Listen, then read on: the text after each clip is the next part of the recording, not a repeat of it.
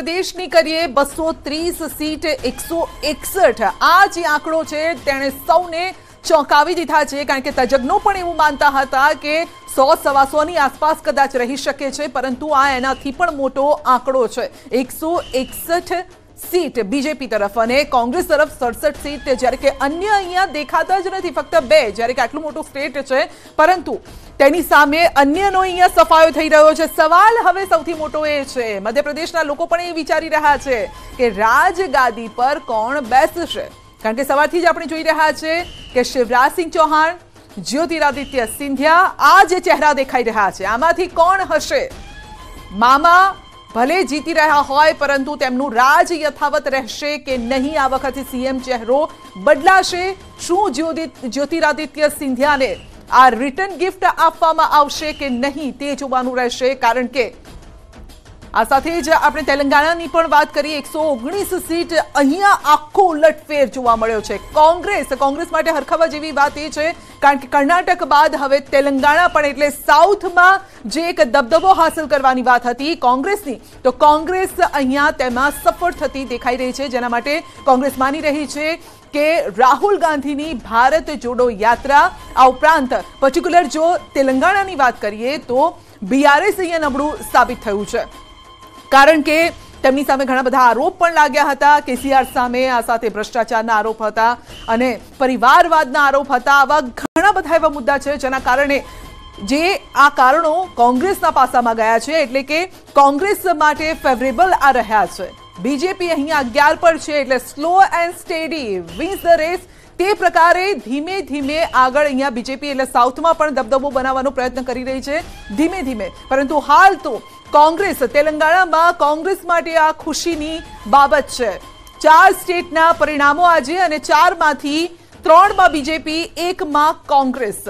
તો રાજસ્થાનની આપણે વાત કરી રહ્યા છીએ એકસો આઠ પર બીજેપી કોંગ્રેસ છોતેર જ્યાં કોંગ્રેસ સત્તા પર હતી, પરંતુ હવે બીજેપી સત્તામાં આવશે એટલે અહીંયા પણ મોટો સવાલ હવે એ જ છે કે ભાઈ સીટો તો જીતી ગયા, પરંતુ આ સીટો પછી હવે શું? એ ચહેરો કોણ હશે? બાળકનાથનું નામ એક સામે આવી રહ્યું છે હિન્દુત્વનો આ ચહેરો, કારણ કે બે હજાર ચોવીસની આ ચૂંટણી અને તેમાં સૌથી મોટું જે કાર્ડ છે હિન્દુત્વનું કાર્ડ રહેવાનું છે.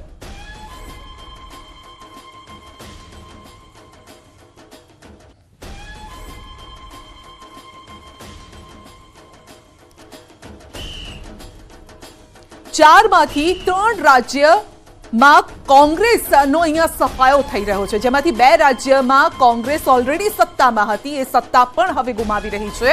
અને મધ્યપ્રદેશની જો વાત કરીએ તો મધ્યપ્રદેશમાં પણ ગઈ વખતે કોંગ્રેસ જીતી હતી, પરંતુ એ જીત બરકરાર ન રાખી શકી અને મામાએ એ સત્તા હાંસિલ કરી હતી. સવાલ એ છે કે જે રાજ્યો કોંગ્રેસ જીતી હતી, ત્યાં હારનો સામનો કરવો પડે છે અને જ્યારે હવે ચૂંટણી થાય છે, ત્યારે હવે એ જે હાર છે, તેના કારણો કયા કયા છે જાણવા માટે મારા સહયોગી પ્રણવ પાસે જઈશું. ફોન લાઈન પર જોડાયા છે. જી, પ્રણવ, હારના કારણો.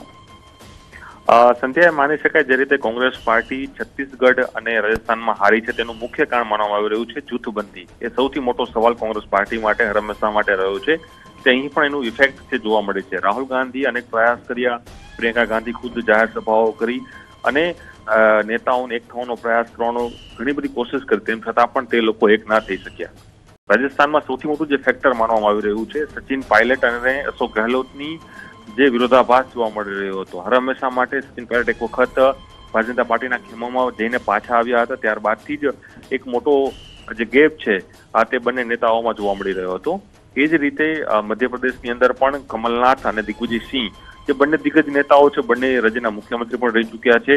એટલે એ બંનેનો પણ એક ક્યાંક જ વિરોધાભાસ જોવા મળી રહ્યો હતો. સાથે જ જે સૌથી મોટું ઇફેક્ટ મધ્યપ્રદેશમાં જોવા મળી રહ્યું હતું એ હતું જ્યોતિરાદિત્ય સિંધે. જ્યોતિરાદિત્ય સિંધે જે કહી શકાય કે જનતા પાર્ટીમાં જાય છે. ભાજપા પાર્ટી તેને મંત્રી પદ આપે છે. ત્યારબાદ તેઓ ખુદ મધ્યપ્રદેશની અંદર તેઓ પ્રચાર કરે છે. પોતાનું એક પોતાનું એક વર્ચસ્વ તે વિસ્તારની અંદર જોવા મળતું હોય છે. એટલે એ પણ એક મોટી અસર જોવા મળી રહી છે. બીજી તરફ સૌથી મોટી ઇફેક્ટ જો જોવા મળી રહી છે એ છે નરેન્દ્ર મોદીનો મોટો ચહેરો. નરેન્દ્ર મોદીની જે જે એક છબી બની રહી છે સમગ્ર વિશ્વની અંદર. તેની જેની અસર છે તે સૌથી મોટી જોવા મળી રહી છે. અને બીજું એક મહત્વનું કારણ માનવામાં આવી રહ્યું છે સંધ્યા એ છે કે મહિલા મતદારોને પોતાની તરફ કઈ રીતે આકર્ષિત કરવા તેને લઈને મહિલા લગતી યોજનાઓ જે છે જાહેરાતો છે મધ્યપ્રદેશમાં જે રીતે લાડલી યોજના શિવરાજ ચૌહાણ લાવે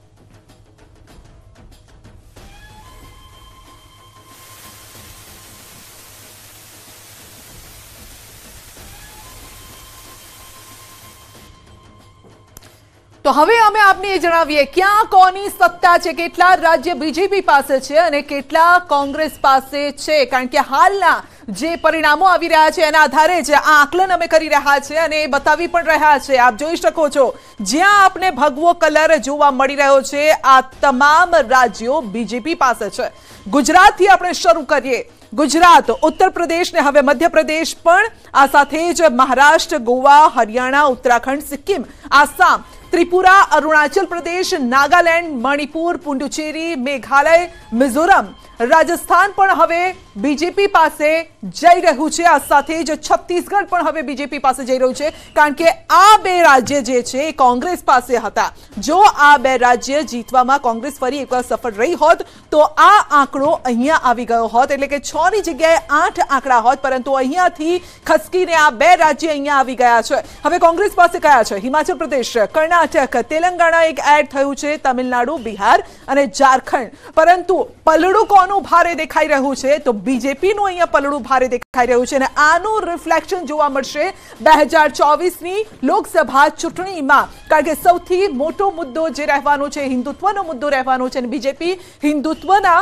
કાર્ડના આધારે આગળ વધી રહી છે અને જે રીતે જે અનુમાનો પણ લગાવવામાં આવી રહ્યા છે કે રાજસ્થાનમાં પણ એવો જ ચહેરો આગળ કરવામાં આવી શકે છે, એવા જ વ્યક્તિને સીએમ બનાવવામાં આવી શકે છે જે હિન્દુત્વના મુદ્દાને આગળ લઈને જઈ શકે ત્યારે જે નામ આવી રહ્યા છે, એ પ્રકારના નામ આવી રહ્યા છે. જોવાનું રહેશે કે પછી વસુંધરા રાજેને ફરી એક વખત સત્તાની બાગડોર આપવામાં આવે છે કે નહીં? રાજસ્થાનમાં ન ચાલ્યો જાદુગરનો જાદુ. કારણ કે અશોક ગહેલોત કહેતા હતા કે જીત તો અમારી થવાની છે, સત્તામાં ફરી એક વખત. આ રિવાજ છે, રાજસ્થાનનો પરંપરા જે છે જાળવી રાખવાનો હવે જનતાએ પ્રયત્ન કર્યો છે. પરંતુ કોંગ્રેસ આશ્વસ્ત હતી કે આ રિવાજ બદલાશે. જે નથી બદલાયો નેવના દાયકાથી શરૂ થયેલો આ રિવાજ હજુ પણ કાયમ રહ્યો છે.